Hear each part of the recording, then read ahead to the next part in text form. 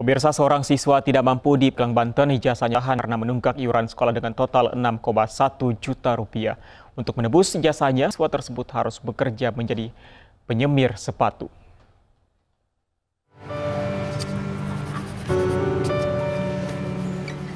Siapa yang tidak senang jika telah dinyatakan lulus ujian dan tamat sekolah? Setiap siswa akan berpikir untuk melanjutkan studi atau bekerja. Namun berbeda dengan nasib yang dialami oleh Haris Nuriana. Karena tidak mampu, Haris mengurungkan niatnya untuk melanjutkan pendidikan atau bekerja. Ia terpaksa menyemir sepatu dari pagi hingga malam hari untuk menulis sebuah ijazah tanda kelulusan dirinya. Menurut Haris, ditahan karena ia sering menunggak iuran sekolah sebesar 100 ribu per bulan. Orang tua Haris yang tidak mampu sudah memintanya untuk berhenti sekolah saja, namun Haris tetap ingin sekolah.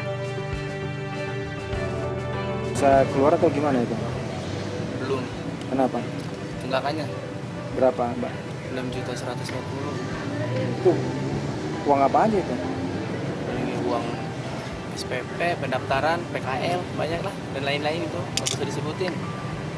Emang selama ini pernah bayar atau memang gimana?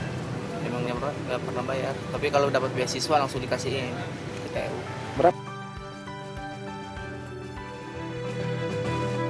Siswa yang bercita-cita sebagai anggota polisi ini kini harus mengurungkan niatnya. Saat ini Haris hanya fokus untuk mencari uang agar ijazahnya bisa ditebus. Sementara itu pihak SMK PGRI Palembang mengakui penahanan ijazah tersebut.